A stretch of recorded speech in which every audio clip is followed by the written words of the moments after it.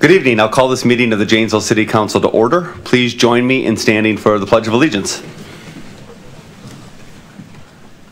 I pledge allegiance to the flag of the United States of America and to the republic for which it stands, one nation, under God, indivisible, with liberty and justice for all. In case of an emergency, please use the stairs and not the elevator to exit, and then walk to the north side of the police department and wait there for further instructions. Item two is roll call. Would clerk please announce the attendance? Council President Benson, Here. Council Vice President Marshick, Here. Council Member Burdick, Here. Council Member Jackson, Here. Council Member Miller. Here. Council Member Nino, Here. Council Member Williams. Here. All are present, we have a quorum. Thank you. Um, I'm actually going to rearrange the agenda a little bit tonight, and I'm going to take new business item five first, because my family's here, and I'm the only council member this applies to. And I'm going to turn the meeting over to Vice President Marshick. Okay, item number five, uh, consideration and action on a proposed resolution recognizing Council President Paul Benson for his loyal and conscientious service to the city of Janesville as a city council member. Uh, Can the clerk please read the resolution, but not the full proclamation? I think that's, or is that the same thing? It's the same thing, it's short. Okay, then let's read it. Resolution number 2024-2214, a resolution recognizing Council President Paul Benson for his loyal and conscientious service to the city of Janesville as a city council member. Whereas Paul Benson served the city of Janesville from 2019 to 2024 as a member of the city council. And whereas Mr. Benson served as city, co- city council vice president in 2021 and council president in 2022, 23, and 24. And whereas during his term of service, Mr. Benson served as a member of the Parks and Recreation Advisory Committee, the Sustainable Janesville Committee, the Indoor Sports Complex Steering Committee, the Library Board of Trustees, Oak Hill Cemetery Advisory Committee, Alcohol License Advisory Committee, Downtown Janesville Inc., and the Woodman Sports and Convention Center Executive Team. And whereas during his term, the City Council accomplished many achievements, of which Mr. Benson recognizes several significant accomplishments, including the development of affordable market rate and high-end housing stock, reducing the city's debt burden by transitioning to an increased level of cash financing for infrastructure initiatives, the development and construction of the Woodman Sports and Convention Center, securing city funding for the Children's Museum of Rock County, and the recruitment and hiring of city manager Kevin Lahner. And whereas Mr. Benson's intelligence, thoughtfulness, and compassion for his community and its citizens characterized his tenure in office throughout, which is evidenced by his work to make the city of Janesville the community of choice. And whereas Mr. Benson performed the duties of the, as a member of the city council with an exemplary level of dedication, honesty, and integrity. Now therefore be it resolved that the city council of the city of Janesville presents this recommendation, this commendation to Paul Benson to- in sincere appreciation for his loyal and conscientious service to the city of Janesville. Thank you. Do I have a motion? So move, please. Moved by Councilmember Nino, second by Jackson. Comments? Mr. Nino? Uh, Certainly to second all of the comments in the commendation, and I suppose only to say that it came too soon, too early. Uh, Paul, you'll be deeply missed, and you've been a tremendous force for positive uh, change on the, on the council during your- your tenure. Councilmember We're proud Jackson. to have served with you, learned from you, enjoyed your example of integrity and leadership. Anyone else wishing to say anything? I will. Uh, It's been uh, an honor to serve with you. Um, Being off cycle on elections, I knew this day would come when one of us would leave the other, but uh, thought it would be the other way maybe. But no, it's been, it's been great, Paul. Your leadership has been wonderful and, and what you've accomplished and, and helped guide us through over the last couple of years here has been great. So thank you very much. Oh, you know, once you've been on for a while, you can always come back later. and- and, uh, Heard that. it- It's okay to do that, and uh, we'd appreciate you doing that again. So think about it, once the kids grow up, maybe. Yeah. Go ahead. I I just want to echo what everyone has said. Um, I don't think there's a whole lot more that I could add. And we wish you good, good fortune and uh, many, many more baseball and soccer games. Thank you. Okay, uh, let's vote. I think we don't have, uh, You could do an acclamation, all in favor. okay, all in favor? Please say aye. Aye. I'll abstain. Any opposed? And that passes unanimously with Council President uh, Benson abstaining. Thank you.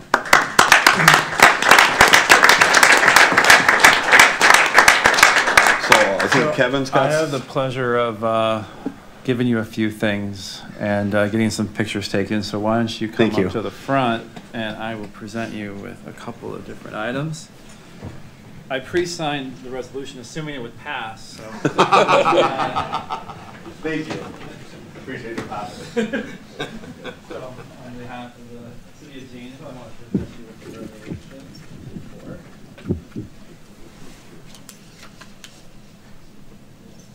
And uh, the city coin, which has the city's value on there, and so take it again. And last but not least, uh, print of the city of Janesville, you know, local artists that we've given in the past for their leadership and conscientious service to the city of Janesville. Thank you very much.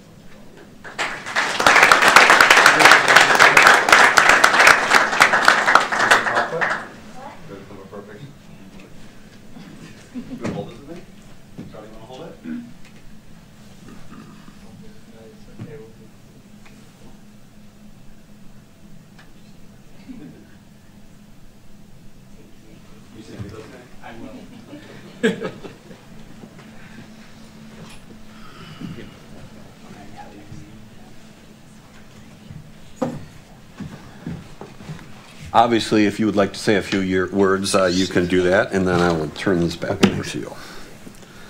Yeah, thank you all very much for the kind words. Um, First, I want to thank my family who's here tonight, my- especially my wife Jenna, who was a single parent on countless, countless uh, evenings and early mornings. So thank you for doing that, Jen. I appreciate it. And to my kids, George, Charlie, and Henry, who uh, put up with me being away again for many, many evenings and many, many early mornings. So thanks for doing that, boys. I appreciate it. Um, Thanks to the city staff, past and uh, current, too many to thank. I won't try to name names because I will undoubtedly leave people out.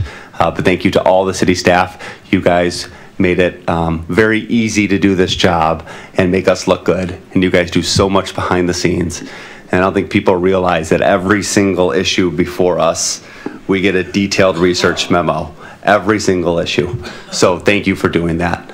Um, Also, thank you to all of the current and former council members. Again, uh, too many to, to name, I'm not going to try. Uh, But thank you to all of you, especially some of the ones who are no longer here, who took the time to mentor me. You know who you are, and I appreciate it. Um, Yeah, and thank you to uh, Vice President Marshick, who's, you and I have been working together now for two years on many things, so thank you for all the extra time helping me with this. I appreciate it. We really shared the job, and I wouldn't have agreed to be president if you wouldn't be vice president, so, uh, yeah, my turn to leave first, but uh, I trust the rest, of the other six of you, and Larry, who's coming on, will do a great job, so thank you, everybody.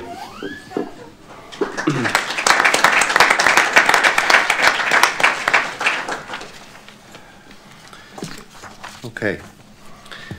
I'll now go back in the agenda to item three, which is consideration and action on a proposed resolution in support of National Library Week, April 7th through 13, 2024. Would the clerk please read the file resolution?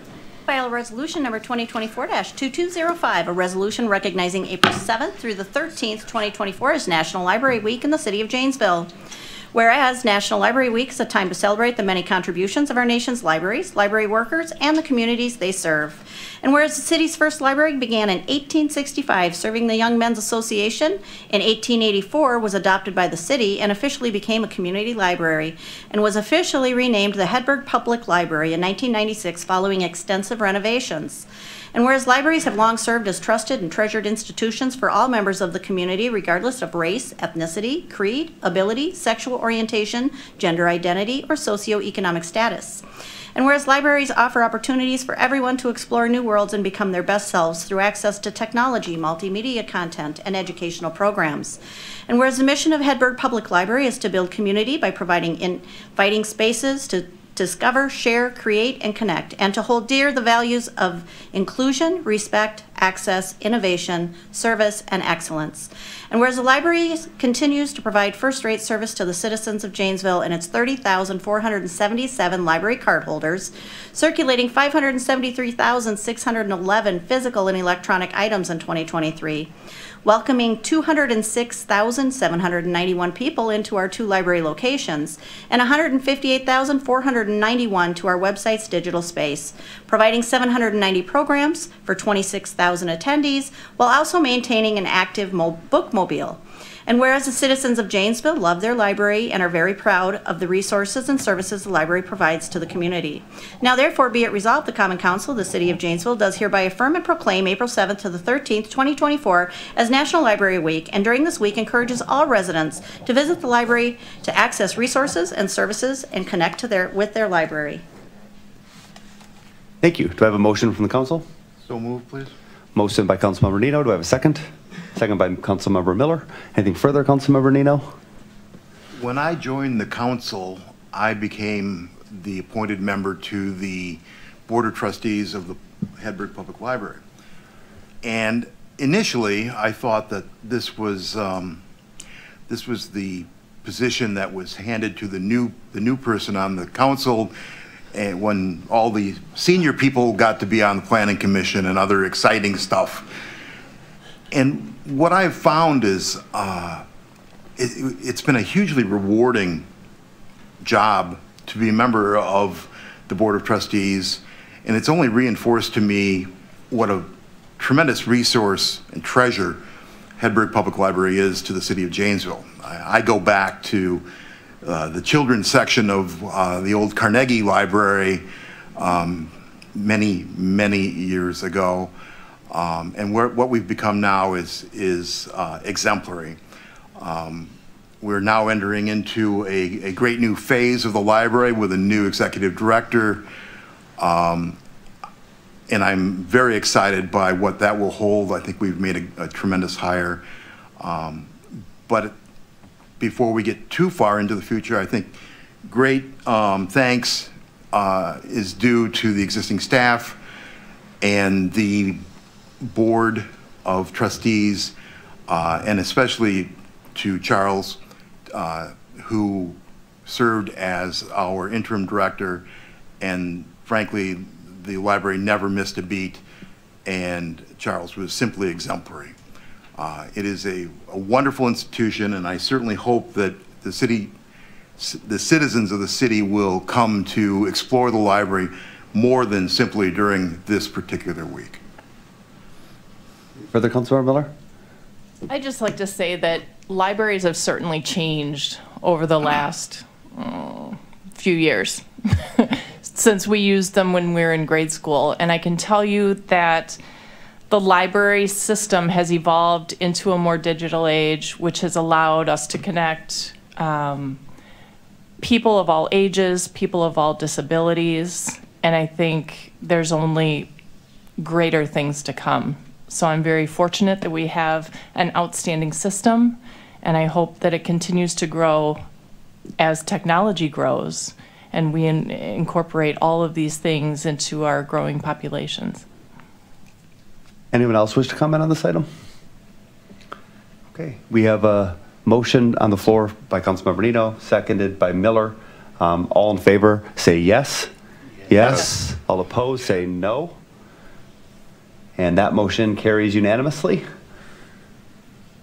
And we have a copy of the resolution, um, and with us this evening to accept that, we have two members of the library board, the president and vice president, Patty Hernandez and Katie Grogan, as well as our interim director, Charles, who's here to accept it as well. If you want to come forward and accept a copy of the resolution.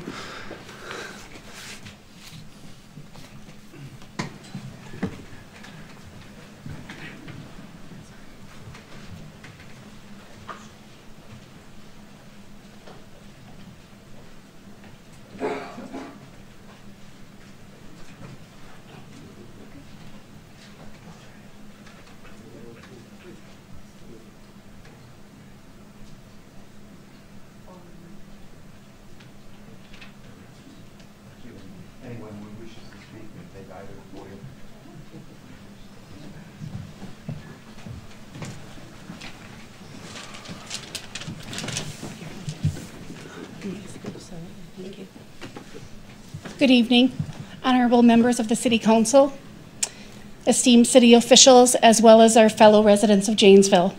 I'm here tonight with Katie Grogan, the Vice President of the Hedberg Public Library Board of Trustees. I'm the current president of the board.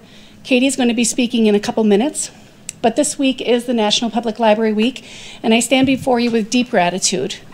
After serving on the library board, now I think this is my sixth year, um, of immense pride in what we're doing at the library as we celebrate their invaluable contributions. Um, our libraries hold a very special place in our hearts, as well as the public library um, here has played a pivotal role in our um, in Janesville. We have a vast collection of books. We have multimedia resources. We have innovative programs. The Hedberg Public Library has empowered countless individuals to explore new ideas, pursue lifelong learning, and expand their horizons from toddlers attending story time all the way to seniors participating in technology workshops. The library has welcomed patrons of all ages and backgrounds with open arms. Moreover, the public library has served as a catalyst for our community engagement, fostering meaningful connections and collaborations that enrich our community. Whether it's hosting library um, author talks, art exhibits, uh, civic forums, the library has provided a platform for our community to have dialogue, creativity, and civic participation. None of this would be possible without the steadfast support of our City Council, as well as our dedicated city officials. Your commitment to Hedberg Public Library reflects your recognition of the vital role that libraries play in promoting education, fostering literacy, and enhancing the quality of life in our community. We would like to express our gratitude today. Let us reaffirm our collective commitment to pursuing and strengthening the Hedberg Public Library and for, your, um, for generations to come, just like you had mentioned. Together, we can ensure that it continues to serve our community of learning and be a source of inspiration as well as a cherished community asset for years. I want to thank you for your ongoing support, your dedication, your vision in building a brighter future for Janesville. And now Katie has a few words for you. I just wanted to take a moment to express our appreciation first to Kevin Lahner and also to Tara uh, Semenchek for their role in helping us find our new library director. And I'd also like to take just a moment to express our deep appreciation to our current director, Charles Tevel. He's done a, just a, a, wonderful, a fantastic job, as, as you pointed out, uh, Richard and not only keeping us afloat, but beyond. And we offer him our sincere appreciation. And lastly, I'd like to make uh, just a comment about the staff. Our library is, has been referred to by a number of people as the crown jewel of our city. And yes, indeed, it's a, it's a beautiful facility, but much more than that, it's the people inside whose professionalism and dedication make it the crown jewel of Janesville. So again, I join Patty in thanking you for this uh, commendation and resolution, and uh, look to see you at our library soon to meet our new director. Thank you.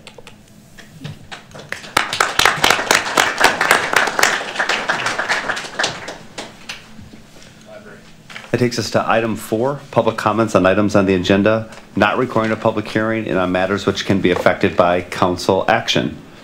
Did anyone sign up to speak this evening? Ted Bullerud. Uh, please state your name and address, and you will have four minutes. Yes, uh, Ty Ballrood, 4608 Pendleton Court, Janesville, Milton, Wisconsin.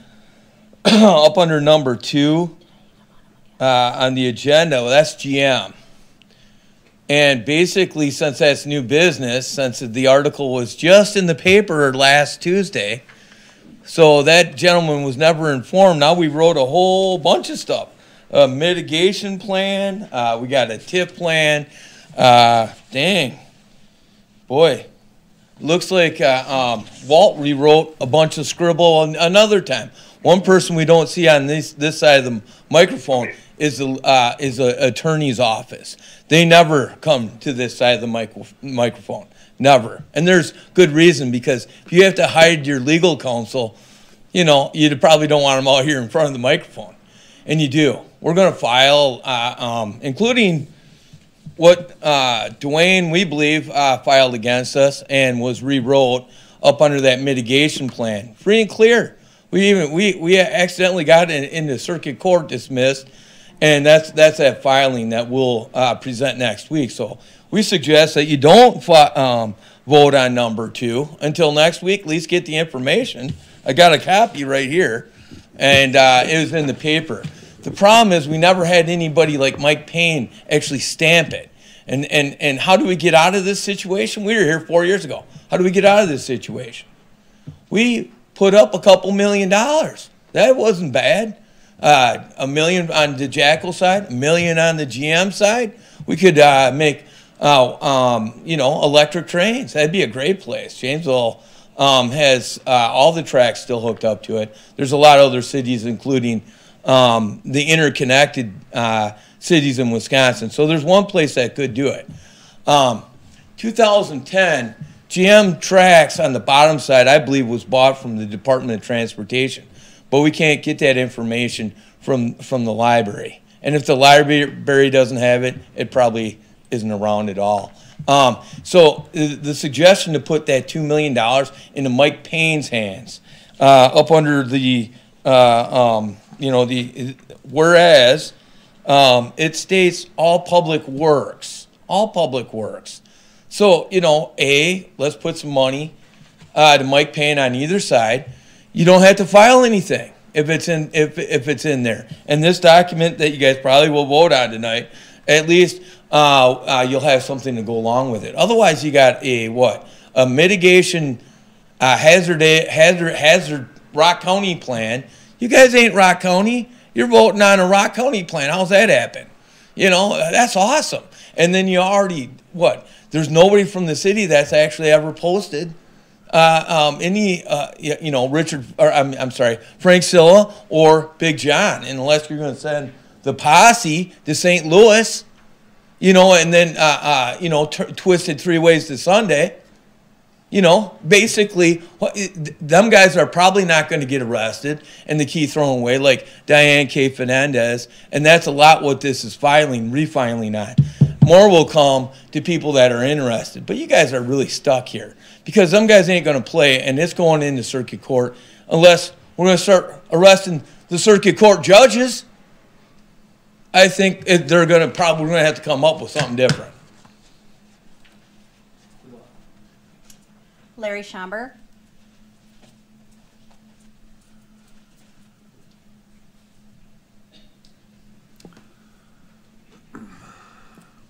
Uh, Larry Schomburg, 833 Eisenhower. I was here March 11th with the hope of getting support for an extension of a sidewalk deferment. Apparently, the city manager has the authority to bypass the city council because on May 15th, March 15th, a person from the engineering department came to our home and informed us the city manager made the decision not to extend the defer, the deferment. Later, on the 15th, we received a call from a council member stating they will be meeting with the city manager and I will have that council member's full support on extending the deferment. The council member called us back about an hour and a half later and said they were in contact with the council president and the item of the deferment extension will be on the March 25th council meeting agenda. We received a call on March 25th from the assistant city manager informing us there is no deferment extension. He was unaware that I had spoke with a council member and he had been in contact with the council president on March 15th, and the item was supposed to be on the agenda for the March 25th council meeting. It wasn't. This is one, many, this is one of many reasons the public is losing confidence in our elected officials. We deserve better. Thank you. Those were the only two signed up on the sheet. Would anyone else like to provide public comment this evening? Anyone else? Any written comments? There were none. Uh, Larry, I'll take it to, I'll take blame. Councilmember Jackson did request that to go on the agenda. I was out of town on spring break, but it's being worked on. We are going to get it on an agenda. I'm transitioning off the council, but the council's not forgotten about this. Sometimes it just takes a little while to get things on the agenda. I should have been notified. Yeah, it's a, it's a hard thing when it starts at the council. I can't really, open meeting laws prevent me from discussing a non-noticed agenda item. Our rules are frustratingly handcuffing. Um, But we can have, we'll have someone reach out. Sorry for the inconvenience. Yep. Um, That takes us to item five, which is our city manager update. Um, I'll turn over to our um, city manager, Kevin Lahner. I have a couple of items uh, before I get started. Uh, I just wanted to say thanks to Paul um, for the short time that we got to work together. Um, I, I, I do I do have to say it's a little bit unnerving as a city manager to see the face of your council president around every corner in the city, staring at you. with I'm a always watching. with a smile. Yeah, that's what it kind of feels like. Um, but I just want to appreciate everything that you've done for the city. You've done amazing work, and uh, it's been great to work with you. And, and looking forward to accomplish many more things. And I know you're not far, and Yeah. you'll be around and involved. I will be. So, so thank you very much. Thank you. Um, got a couple of things for you this evening, and then I'm going to turn it over to Jimsy. Um, just to for the public's awareness, uh, there's been three finalists announced. Um, it was in the newspaper recently for the um, fire chief position. Um, and uh, after that first initial part of the search, uh, John Kolaric, Ryan Murphy, and Scott Sarber, uh, the public uh, police and fire commission will be meeting with the three finalists uh, for interviews on Monday, April 15th. Um, and then hopefully we'll be going into um, a, a discussion and decision uh, shortly thereafter or even on, on that day. So getting steps closer to hiring the new fire chief. Uh, we have tonight a um, preview of Park Place Views with Amanda. Hello, City Council, staff, and residents. My name is Amanda Gilbert. I'm the Communication Specialist for the City of Janesville and the host of Park Place Views. On this month's episode, we feature Elena Knopfsinger with the Recreation Division. We talk about the 2024 Parks and Recreation Guide and all the fun things you can do outside in Janesville this summer, like heading to a great park and shooting some hoops. You can check out the newest episode on Channel 994 or on JATV Media's YouTube. Crushed it.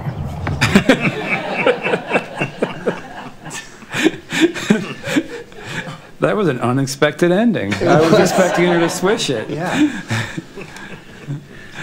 Uh, just some upcoming events. Uh, April 11th, we have the child seat safety inspections uh, uh, from 8 a.m. to noon. April 23rd, we have a community engagement forum on the Palmer Park wading pool, renovations from 5:30 to 7.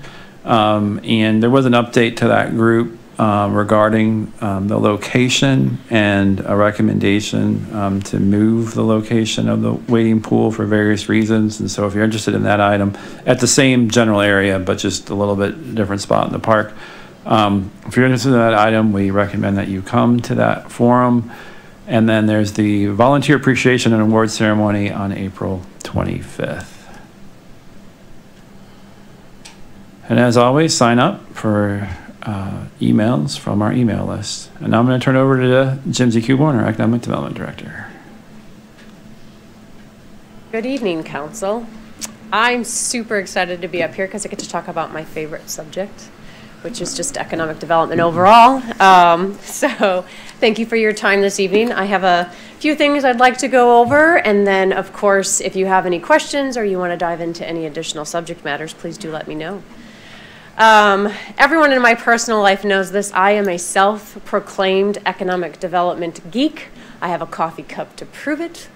and so um, I'm, again, super thrilled to be talking this evening. Um, you know, economic development is definitely a long game and it requires a lot of people, a lot of attention, a lot of dedication, um, resources galore, right? Uh, a lot of people who have a great vision and a big heart for their community. Most people that are in economic development don't have a degree in economic development. There are very few opportunities in the United States for actual degrees in economic development. Most of us fall into this track via other tracks, right? So maybe planning, maybe public administration, maybe marketing, maybe um, other aspects within um, the public sector, as well as the private sector. I actually came from the private sector. So um, our education is primarily done through our industry organizations, one of them being the International Economic Development Council. They offer a lot of different education sources, as well as a large network of individuals who are doing the same thing in communities across our country and globally as well. Um, we have people who are doing economic development on small scales for small communities who focus a lot more on community development and then we have economic development folks who work on substantially large projects of over a million square feet of space and thousands and thousands of jobs. It is definitely something that is diverse um, and definitely takes a special breed of person for economic development. Traditionally, economic development had three legs to a stool, and that was business attraction, business retention, and business expansion. Economic development has definitely become vital in the success of communities and has expanded its scope of work. And some of those additional aspects are, of course, redevelopment, workforce development, infrastructure needed to make things successful in your community, as well as strategic planning for your community. We also get involved with policy setting. So working with our local, state, and federal leaders on what is important for a community's success and economic development, different laws, policies, and financing options that are related to the success and economic development of a community. Supply chain development, which means working with your existing businesses within your community, understanding who they are sourcing from and who they're selling to, and how you have opportunities to recruit those businesses to be able to provide a more comprehensive supply chain for them in your community, which continues their success. Entrepreneurial activities um, here in Janesville, I don't just work with, or my team doesn't just work with the big projects. We meet with entrepreneurs, single business owners who have ideas, who want to launch businesses, and we'll meet with them and work with them on what are some of the steps to make that successful. How do they move their plan forward? And some of those assets might be working with the Small Business Development Center. Some of them might be feeding them into the Janesville Innovation Center as an opportunity for our entrepreneurs. Economic development has also got involved in housing, and that is something more recent for economic development staff members. We work with our community partners, especially our convention and visitor bureaus and downtown associations on quality of life and community development. So the big one, the one that gets the most attention, is what is business attraction right? So this is the one that most stakeholders want to know about.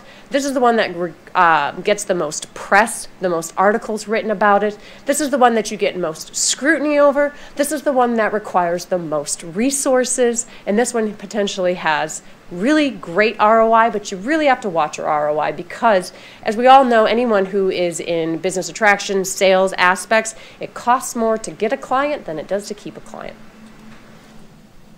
So business attraction, of course, most of us in economic development are not out there trying to attract any and all. We need to be targeted. We need to be able to utilize our resources wisely. And that is looking at different aspects in your community, such as your industry targets, your workforce capabilities. You can't successfully compete against other communities if you're trying to recruit businesses that you cannot fill their workforce needs. Workforce is their number one desire if they're going to a community. Can they hire people? So you need to make sure that you're fully aware of what your workforce capacities are. And if you are not exactly content with what the workforce capacity is in your community or you want to strive for different or more, those are conversations that you have with our education partners and workforce partners about how do we set end goals, how do we start changing our output, how do we start changing our talent, and then how do we start targeting those different businesses? How? How do you do business attraction? Well, as a municipality, we definitely have constraints. We can't go out and buy a bunch of advertisements. You don't see me traveling all over the world trying to recruit businesses from different countries. So, a lot of that is done by networks, a lot of that is done by actual boots on the ground, business development activities, and things that we can do to promote ourselves at low to no costs uh, attending trade shows and uh, working with different brokers, developers, um, real estate brokers, architects, engineers, whatever we can do to get the word out that we have an asset that they themselves or their client has or uh, desires. Some recent, oh, I did it again. What is the back button again? I always do this. The second one down on the screen that's on. I can't control it from over. There you go. You got I it. can't see either, so. Some recent uh, examples, of course, is our concerted efforts in the Innovation Park. So this is the 132 acres that we purchased in 2023 and that we're working through all of the infrastructure and planning to create a new industrial park. And so as we work through that, we will work with developers and businesses to attract them into our community. Um, we are looking at working at the first project, hopefully to launch in 2025, with the planning work that we've been working through with all of our partners um, here in City Hall in engineering, public works, the building division, the planning division, economic development. Um, we all are working diligently to make sure this site is shovel ready, ready to rock and roll, so we can have our first project starting in 2025. Business retention, extremely vital. When you are aware of the businesses that are in your community and have open communication, you get to know that business and what you can do to make sure that you keep that business in your community. This is a really good opportunity to flourish and get businesses to stay and grow. Um, we talk to existing businesses to see what are ways that we can help them. How can we help their supply chain? How can we help them stay in the community? Are they um, are they constrained by land? Are they constrained by resources and funding? Um, an example, of course, is United Alloy. We all went through that um, last year where United Alloy was doing some expansion projects. So we did a TIF development agreement where we conveyed some land over to them and facilitated their opportunity to do an expansion of their office space as well as their training space and 100,000 square feet of additional production space. Um, some of the other resources, grants, loans, connecting them with different other resources in education and workforce. We work with our workforce partners. Are there opportunities to create custom training? Um, a business retention and expansion program is one of the vital aspects, and I'll go over what a business retention and expansion program is in a later slide. Also, business expansion. In addition to keeping a business, you want to be able to facilitate additional expansion.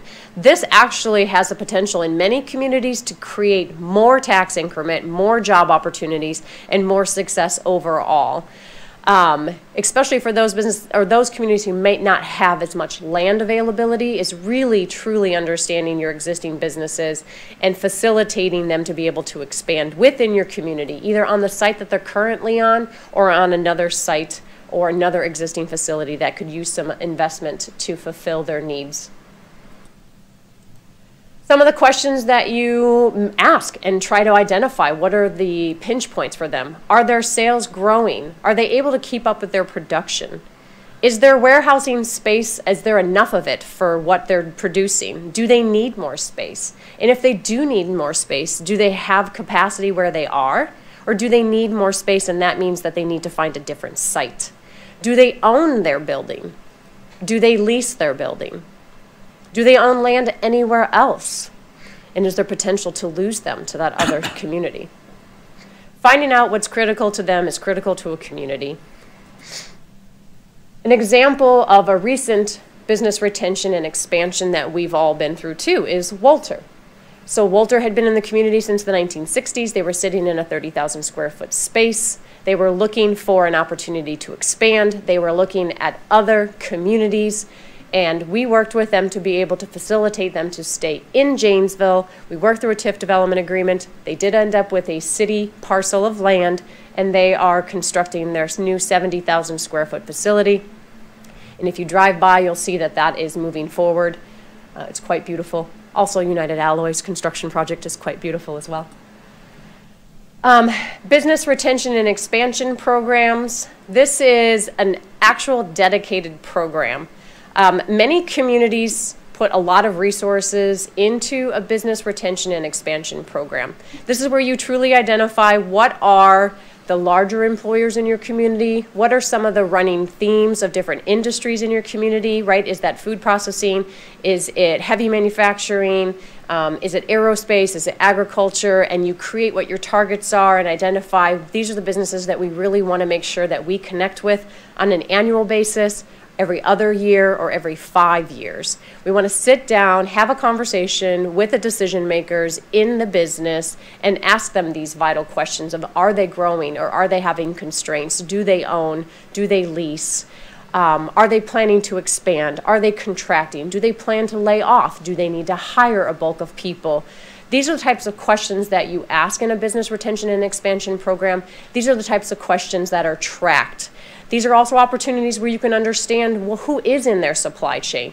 If we have an employer that we know that's working with three other businesses here in Janesville, and then we find out that they're closing their doors, we can start planning because we know that that effect is going to have a larger aspect than just that one business closing.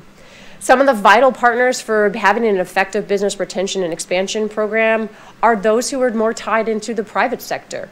There are examples of private economic development partnerships. There are examples of chambers of commerce who work with your city to be able to facilitate a business retention and expansion program.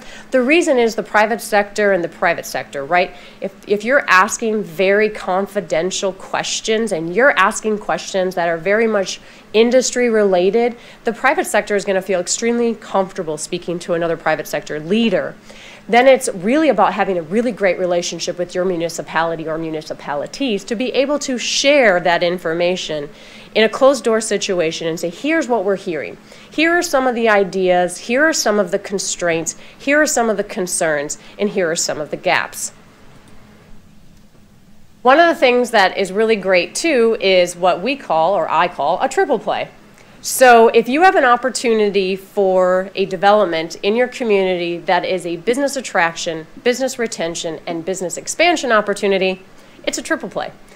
So again, another example that we recently went through was when Zilber built their 500,000 square foot facility and they leased it to Serta Simmons. So Serta Simmons had a facility in Janesville and they had a facility in Beloit. They combined the production and leased the 500,000 square foot space from Zilber. In that process, Zilber will be redeveloping the building in Janesville, and then they will bring in new tenants. So now we have attracted new businesses to Janesville. We have facilitated the opportunity to retain Serta Simmons, and we have also facilitated the opportunity for them to expand. Serta Simmons does plan on hiring additional staff. We have many partners that we work with. This is not a single member or a single team team, right? Like this is a full team effort. So just internally alone, we do have a development team that is involved with many of the departments. Again, we have public works, engineering, the building division, the fire marshal, the planning division, economic development, the management team, finance team. There are so many of us that work together um, to be able to facilitate the opportunities, look and review through these projects that are coming in, not only on how they affect the land and the infrastructure, but also how they affect the overall success of our community. We do hold pre-development meetings with anyone who is interested in developing in the community, um, and that team meets on a bi bi-weekly basis, so every other week. Um, again, for economic development, these are the different departments that we work with consistently. I'm extremely grateful for all of my colleagues because we definitely have projects that are run, run, run, run, run, and then stop, stop, stop. And then run, run, run, run, run, and stop, stop, stop. So I'm extremely grateful for all of these different divisions. We all play a vital role in the success of economic development for this community. We also have partners that we work with day in and day out outside of this organization. And the success of this community would not be for them uh, helping as well. One of the things that we have looked at um, and wanted to review with the City Council was a recent report that came out from the Wisconsin Department of Revenue. This will show you the value of the TID districts in 2001 at 158 million versus 2023 valued at 790 million. The increment in 2001 in those TIDs was 75 million but the increment of the TID districts today is over $507 million. So this is showing you that we truly are having success through our TID districts. The TIF is our only incentive option. Economic development is vital. And for us to be able to grow with the existing constraints that we have with our levy limits, economic development is a must. Our net new construction is our ability to raise levy limits. And years of levy limits that don't come close to what we need gives us options that are not acceptable. We do not want to cut services to our community, and we do not want to borrow excessively or defer what needs to be done for our community, for our community members on a daily basis. So continued efforts in economic development are extremely vital. Economic development ensures the success of our community. Keeping the status quo doesn't allow our community to provide those basic services. And none of us want to be able to deny an amazing community to live in. ED economic development initiatives require ingenuity, flexibility, and a willingness to be a fiscal partner. Why do communities invest in economic development? They definitely take a lot of resources. They require us to be very creative to overcome barriers. They require us to be strategic thought leaders. But we can create successful businesses, increase our tax bases, increase employment oppor opportunities, and create a place that people will really truly be successful to live, work, and play.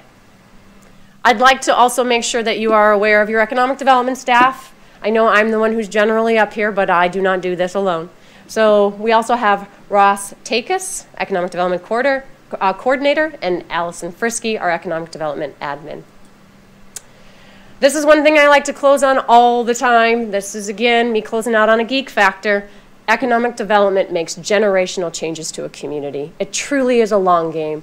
It takes a lot of effort to get there, but makes a massive, long effect on your community. So thank you. Any questions for Economic Development Director?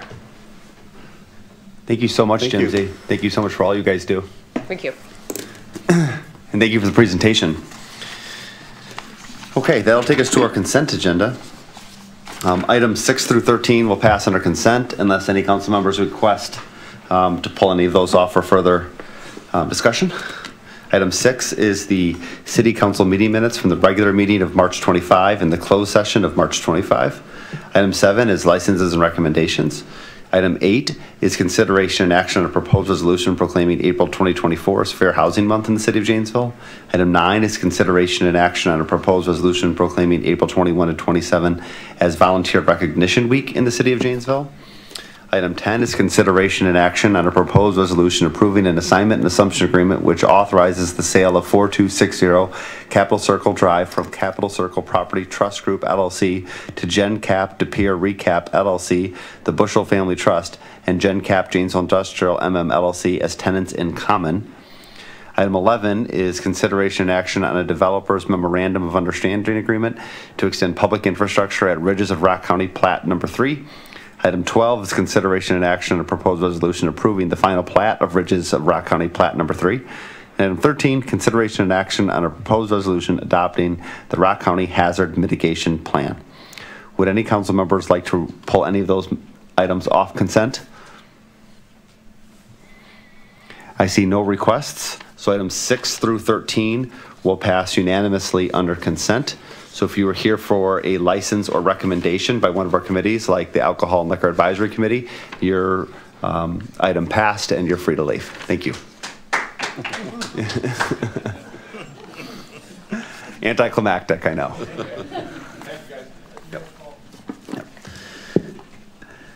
Takes us, uh, no old business, takes us to new business item one, which is consideration and action on a request to waive certain special event fees for the Janesville Farmers Market.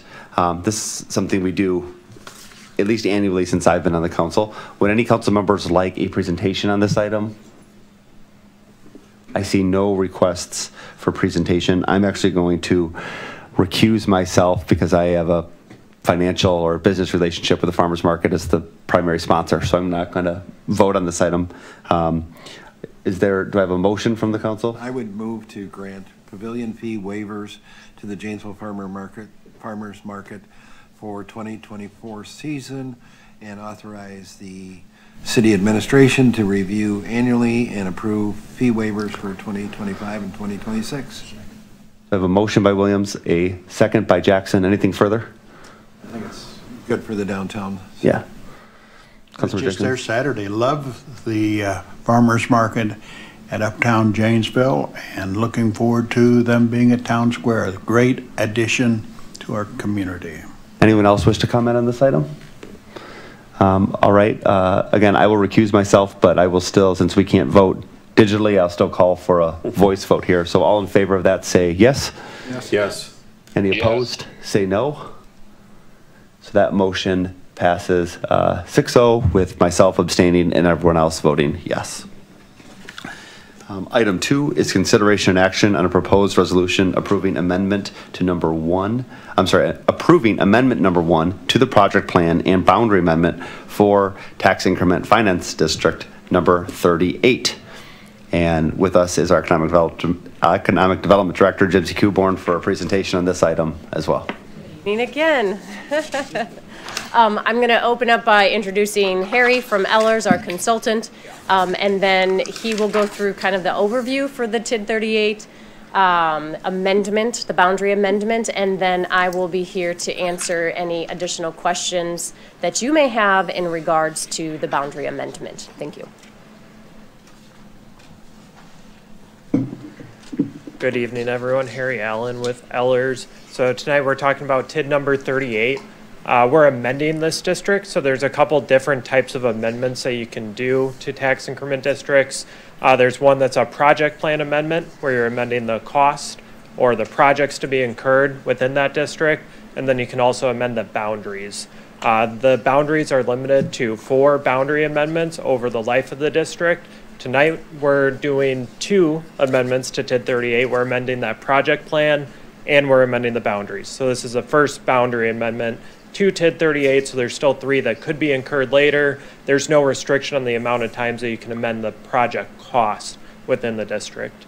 So with that said, just to keep everybody on the same page, I like to start with a little introduction, just what is TID? Uh, how does it work? So essentially, it's a financing mechanism where you capture the new taxes created by new development to pay for the project costs that were necessary to attract that new development. So the argument is that if you didn't pay for these project costs, that development and that incremental value would not exist within your community. How it works functionally is you create a geographical area and you freeze the value at the time of creation of that district. So this chart does a good job of trying to represent how this works. That blue bar at the bottom, that's your frozen value from when you create the district. All of the taxes collected on that value continue to go to all the overlapping taxing units just as they did before you created that district. When you create this district, the intent is that there's new value created within that area. And so the taxes charged to that new development get retained within a special fund to pay for costs within that district that supported uh, that new development coming in. So that's what this purple triangle is trying to represent, is those new taxes being collected on only that new value within the district. At some point down the road, the district will have recovered its project cost, or you'll hit the 20 or 27 year mandatory life, and you will close that district, and all that value rolls onto the tax rolls of all the overlapping taxing units. Jimsy mentioned this earlier, but this is really the only local tool that exists within the state to promote economic development in your community. So looking at TID number 38, this is a mixed use district. There's a couple of tests that go along with tax increment districts, depending on what type of district it is. We'll touch on those here in just a little. Uh, I know it's a little hard to see on the screen, but TID 38 exists along Milton Ave. The south side, there's a yellow border. Uh, that is the existing district. And what we're doing tonight is amending the boundaries of the district, to go north along Milton, uh, just picking up as few parcels as we can to start and to wrap in some of those parcels around the mall that are ripe for uh, some redevelopment projects. So what we're doing is adding nine parcels in total, which equals around 44 acres of land. Uh, We are also amending the project cost that can be incurred within the district. We're adding expenditure authority for half-mile projects, so they're not directly within the district, but they're within that half-mile boundary around the district, so they can be paid for by district revenues. Uh, We're increasing the total project cost with this plan amendment to around 3.9 million. Uh, That's adjusting for some different interest costs that came in on prior borrowing as well as a planned borrowing. And then we're adding around $3 million of half-mile project cost. So in total, it's 3.9 million higher than what was in the original plan. This district was created October of 2019, so all the dates uh, as to when this district needs to close or when expenditures can uh, last be incurred, none of those change with this amendment. So this was created as a mixed-use district under statute that has a 20-year life. Uh, That 20-year period hits in 2041, so you still have about 17 years of life on this district. Now getting to the required findings, with this being a mixed-use district, there's two tests that we need to prove uh, in order to make this amendment work under statute. So the first is that at least 50% of the total area of the district needs to be suitable for some type of mixed-use development. So that's either commercial, industrial, or residential. We need at least two uses, and we need at least half the area to be developable. In this case, 85% is suitable.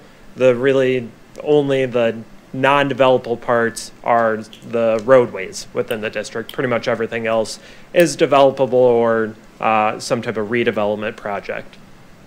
The other test that we have to meet is that uh, with a mixed-use district, you can support project costs for newly platted residential, but you're restricted to only having so much of the area of the district uh, be used for a, a newly platted residential type use. That maximum amount is 35% of the area of the district. In this case, we're only looking at 12%. Uh, a lot of this was in that existing uh, district with the amended boundaries.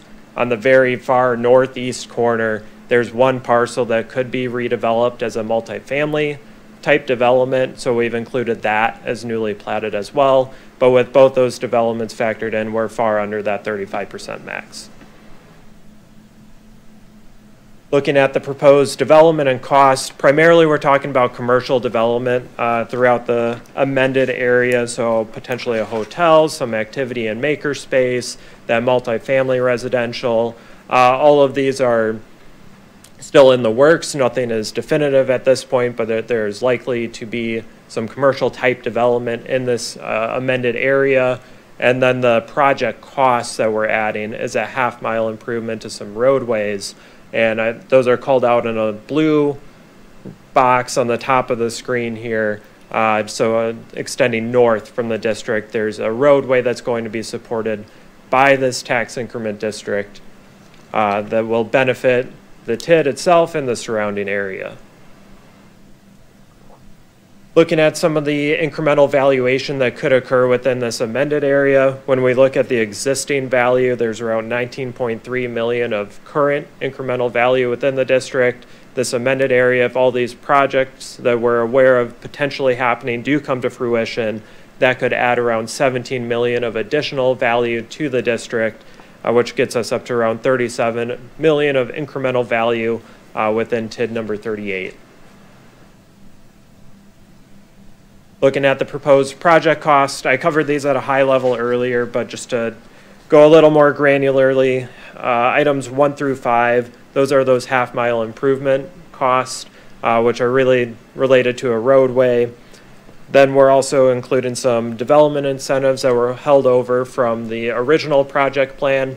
Not the, the full amount wasn't expended from the original project plan, so we're just carrying forward the balance. There's no intent to use those, but the city does have flexibility should projects materialize that need incentives. That's still within the project plan, so you can act quickly when those pop up.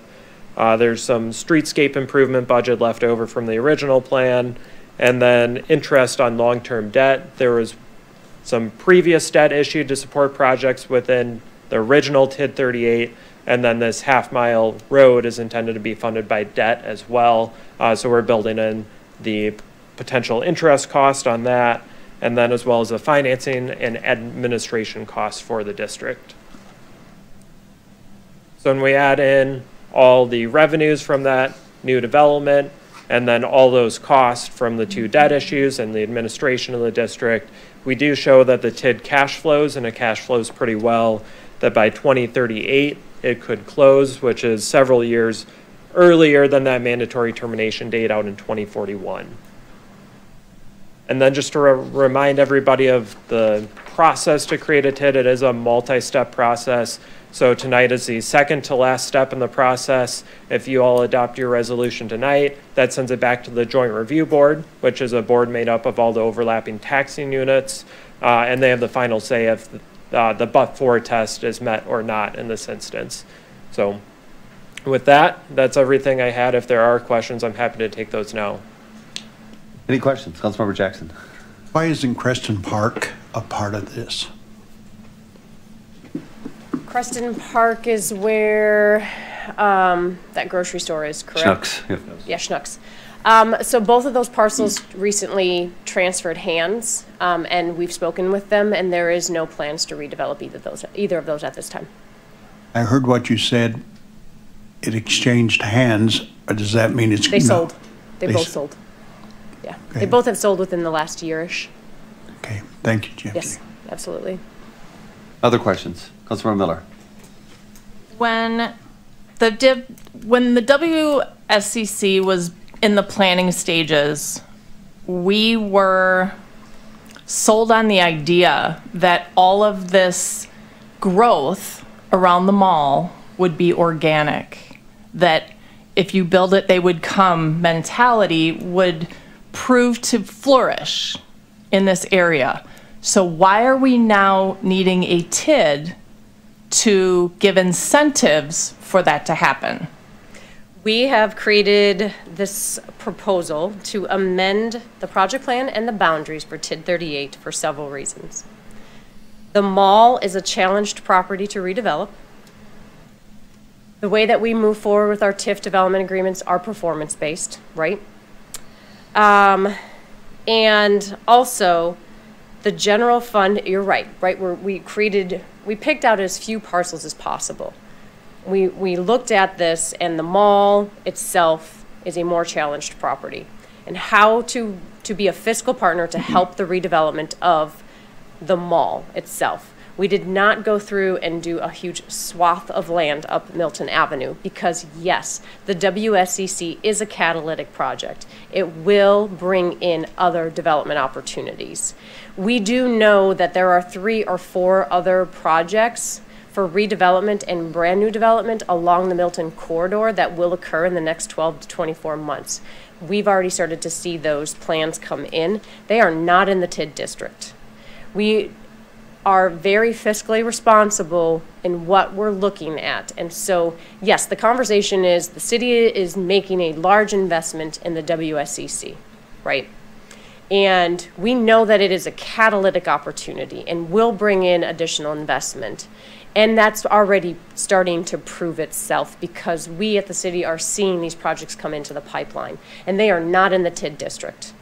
This is specifically looking at what makes the best sense in fiscal partnership for those opportunities that may create an even larger challenge. And redeveloping something like the mall itself, the building itself, is definitely something that would be considered more of a challenge to redevelop than some of the other parcels that are within half mile and mile and up in our larger uh, retail corridor off of the I-39, I-90 corridor. So it is, it still is a catalytic opportunity. It truly still is a catalytic opportunity. This is just a few different parcels that we're adding in. Um, and I know that we try really hard to be very wise in what we're doing, and we know that when you create a district or you amend a district, you're you're holding those funds, right? and those taxing bodies then have that held for the term of the TID. Um, But we do have the opportunity now, as we looked through the project plan, right? There are some infrastructure costs that the TID will be able to assist with that will not be passed on to our taxpayers. They're going to be worked through because of this district and the success of this district. We had a conversation, or maybe several, about the city trying to save the mall. And I don't think it's the city's purpose to save a failing business. And I look at this as if, again, are we opening Pandora's box? Are, are we trying to save this mall now? And then what do we do next year? Are we going to try to save the old Toys R Us? And then are we going to try and save Creston Park? It looks like we're handpicking and we're we're trying to save a specific property and be in that business of something we really maybe shouldn't. I think that when we work through targeted economic development and creating tax increment districts, we identify a purpose of why that district is necessary. And that district may be necessary for multiple reasons. Um, it may be necessary for industrial development on land that the city has obtained. Um, it may be necessary in lands that are being rezoned and reused for industrial uses, um, such as TID 40 for Project RIPE is the future of that project. Um, it may be necessary to create a tax increment district to help with the dire need for housing. Um, TID 38's initial reasoning was to assist with the multifamily project off the Black Bridge Road. Truly, economic development looks at multiple reasons why we create a tax increment district um, as an agent of our community. Um, I don't. Um, I don't see creating the boundary amendment as saving one single asset.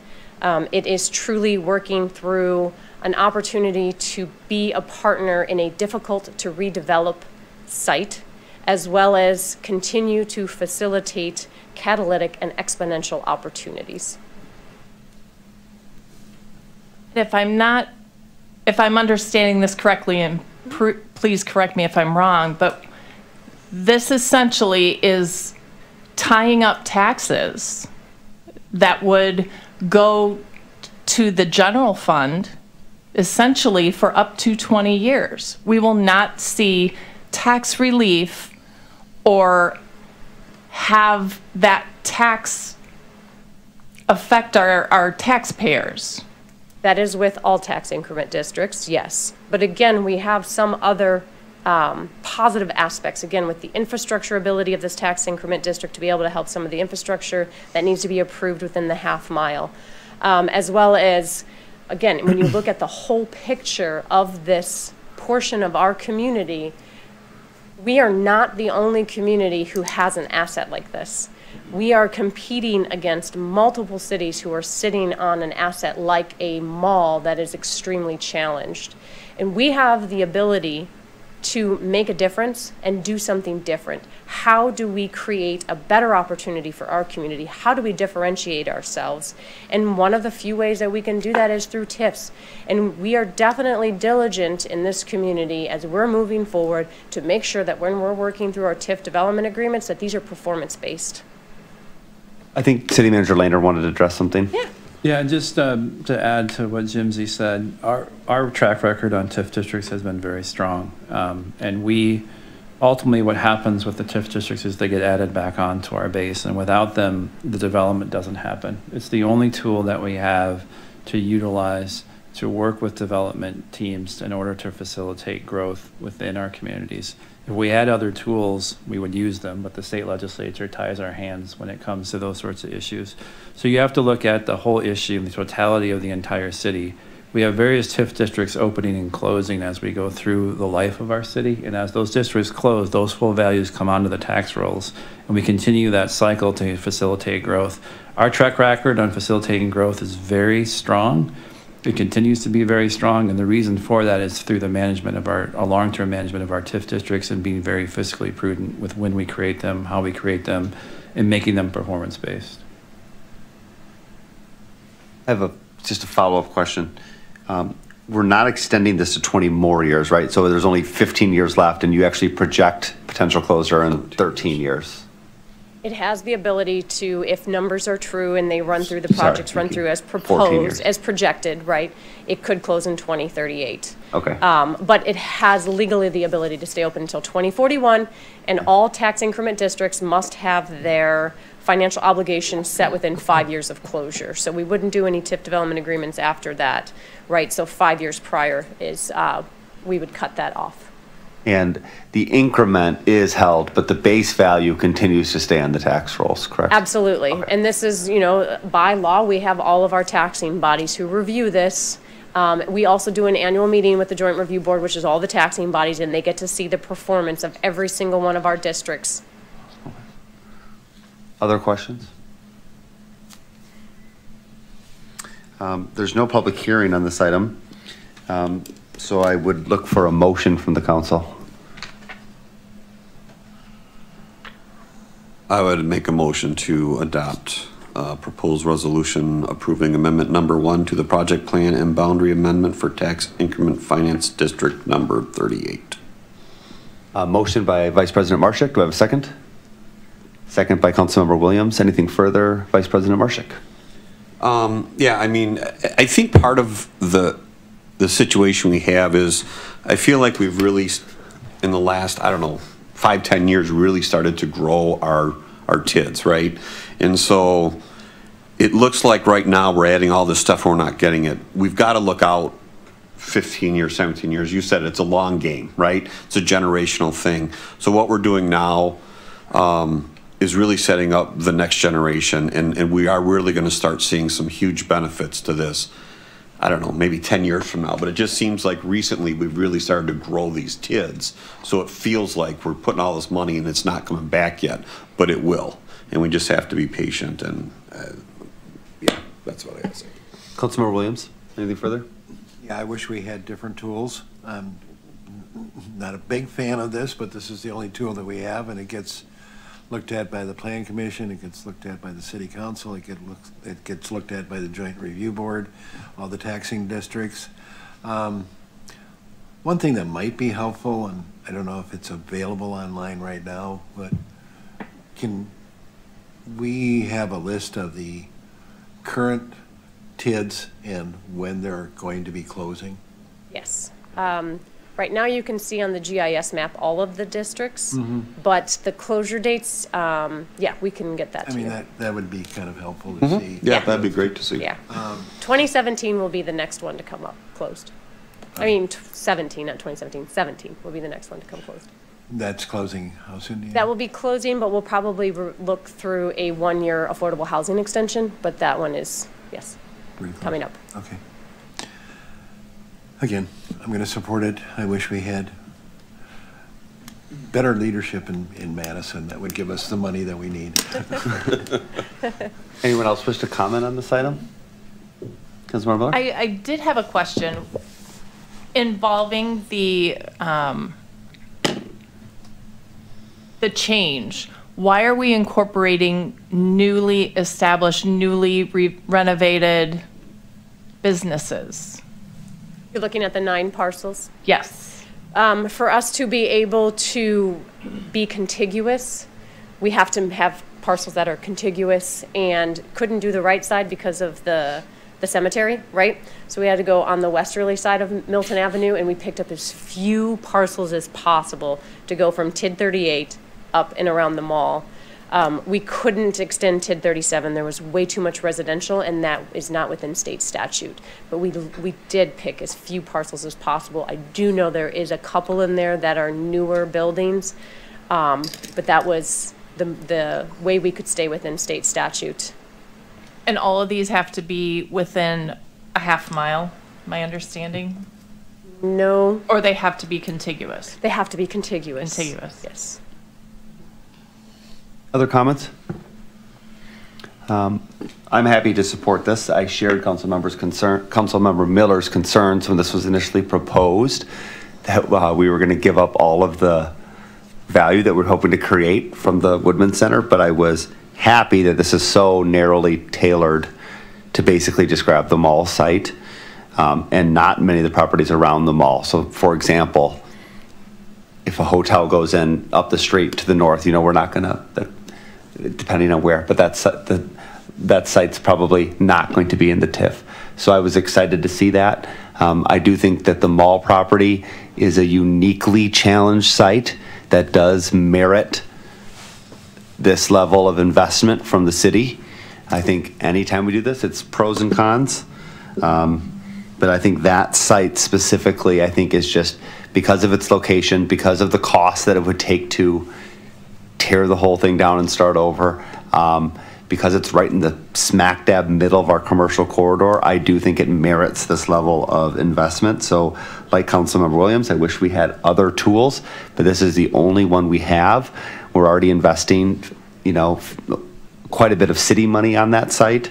So I think we should continue to invest and, yeah, play the long game um, so that we can see the, you know, that Milton Avenue corridor stay vibrant for another generation. So I'm happy to support this. Um, Motion on the floor by Marshick, seconded by Williams.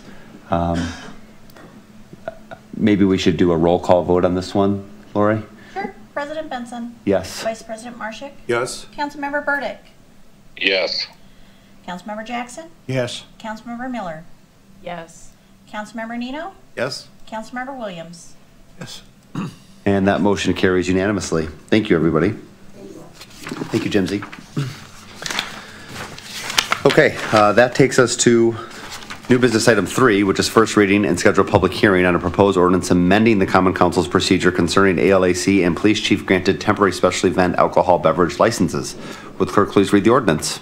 Ordinance number 2024-891, an ordinance updating the procedure for granting and issuing temporary special event Class B alcohol beverage licenses with penalties and injunctive relief for violation thereof as set forth in JGO 6-104. Thank you, and we will set that for a public hearing on April 22. Um, Item four is scheduled time for the organizational meeting on Tuesday, April 16 at 7:30 a.m. Um, Does that work with everyone on the council? I don't think this has been ran by the council. Am I correct? So this is the annual organizational meeting where um, uh, Larry, who's in the back there, will get seated and vote on president and vice president. And then normally there's a meeting with the city manager immediately after to set the next agenda. So it is important that everyone comes to this meeting. So is- does that time work for everybody? Is there a chance we can push it to eight? You know, I'm not going to be here. It's fine with me. I'll leave it up to the rest of you. I will not be joining you. Some of us have children to get Yep. off to school. We, di- I believe we moved a date for the same reason when I was, because I also take kids to school. Um, Does 8 AM work for everybody, and is that okay with city staff? Kevin, is that okay with you guys? Larry, do you hear this? Larry Squire? He's retired. He's We're, uh, Can you come in? Cam? We're scheduling the organizational meeting for April 16 at 8 AM instead of 7:30. That works. 8 AM. Okay. So that, that works for everybody? Okay, so that'll be set for 8 AM on Tuesday, April 16. Uh, We already handled item five. We'll turn to item six, which is common council announcements. Any announcements from the council? I'll just say thank you again to staff and council. It's been a pleasure to serve with you all. I would just like to congratulate all of the appointed deputy chiefs. Thank you. Okay, uh, we'll move then to item seven, which is consideration. It's the last time I had to read one of these paragraphs. Consideration of one or more motions to convene into closed session pursuant to Wisconsin statute section 19.851C for the purpose of considering and taking action concerning the employment, promotion, compensation, or performance evaluation data of any public employee over which the governmental body has juris- jurisdiction or exercises responsibility, specifically Janesville City Manager Kevin Lahner. Do I have a motion to convene into closed session? Motion by Jackson, second by Williams. Um, All in favor, say aye. Aye. Aye. Any opposed, say nay. That motion carries unanimously. Kevin, we have a little bit of housekeeping to do that came up during the week before